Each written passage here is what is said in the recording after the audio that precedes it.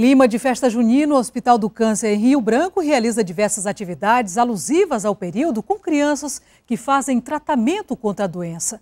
A ação tem o objetivo de estimular os pequenos pacientes ao tratamento e de aproximá-los dos profissionais de saúde. Pipoca, paçoquinha, bolo, refrigerante, decoração colorida, brincadeiras e música. Componentes que não podem faltar em uma festa infantil. E foi isso que a direção do Hospital do Câncer ofereceu hoje às crianças em tratamento durante a semana de festividades alusivas ao período junino. Na verdade, nós escolhemos o tema, né, São João, para que a gente tivesse durante toda a semana, do dia 18 até o dia 22 de junho, uma atividade lúdica e também uma atividade educativa, porque São João faz parte do nosso folclore.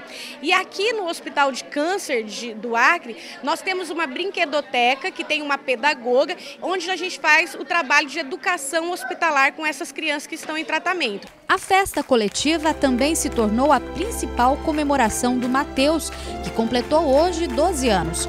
O menino é uma inspiração tanto para a família quanto para os profissionais de saúde que há cinco anos acompanham o tratamento no Hospital do Câncer. Em virtude de um tumor, ele perdeu a visão quando tinha pouco mais de um ano de idade.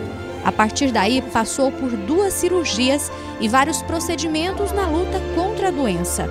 O garoto resistiu e a cada dia motiva ainda mais a fé dos pais. Ele é uma criança vencedora, batalhadora, alegre, acima de tudo, que não transmite em nenhum momento sentimento de tristeza, de pena, de dó, entendeu? Pergunto ao aniversariante do dia qual presente ele deseja ganhar. Esperava uma resposta afirmativa sobre a cura, mas preste atenção na resposta do garoto maior sonho que eu quero, sabe qual é? Ter, ter alegria. E muita paz. Não é à toa que o pai de Mateus viajou até de madrugada para alcançar o aniversário do filho. Esperou muitas dificuldades, né? cirurgias, tratamentos.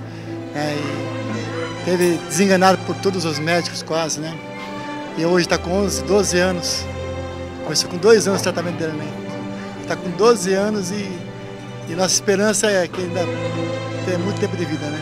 Vestida a caráter, a pedagoga do hospital era só animação. Ela faz parte da equipe que mudou a rotina da unidade de saúde em prol da alegria dos pacientes. Está mais que comprovado que a classe hospitalar foi implantada exatamente para trazer essa alegria e o tratamento é, é mais eficaz quando se cura brincando. Para os pais, a atividade renova as forças e incentiva as crianças a prosseguirem com o tratamento. Com certeza, é um incentivo para o tratamento, né? Eles estão aqui, eles ficam ansiosos para vir. Tem deles que não querem nem voltar para casa, né? Em meio a várias atrações, uma delas foi destaque entre as crianças.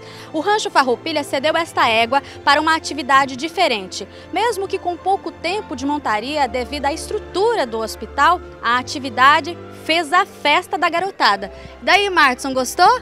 Gostei. Achei um máximo. Adorei.